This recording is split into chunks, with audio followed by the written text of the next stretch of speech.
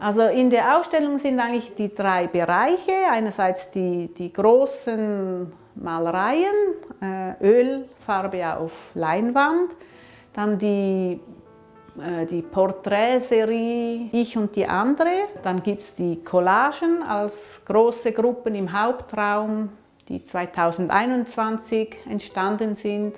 Die gehen eigentlich aus, also gehen zurück auf diese Silva Bücherreihe. Das ist in, in der Schweiz, war das sehr verbreitet, in den 60er, 70er, seit 50er Jahren schon.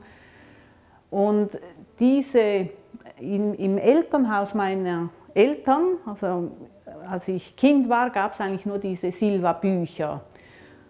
Das war der einzige Berührungspunkt mit Kunst.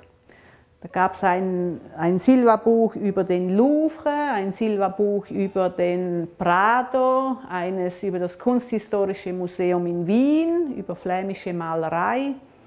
Und das war damals eigentlich mein Zugang zu Malerei.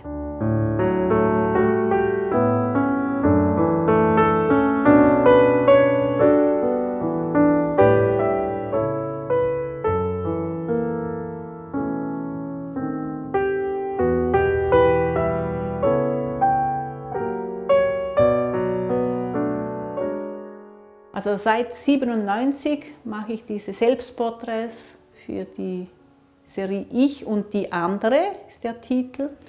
Und die werde ich fortführen, solange ich einen Pinsel halten kann. Also jedes Jahr kommen da zwei, drei oder teilweise auch mehrere dazu. Und es dokumentiert einerseits meinen Alterungsprozess natürlich. Es ist eine, ein Zeitdokument aber es ist auch ein Dokument über die Entwicklung meiner, meiner Malerei.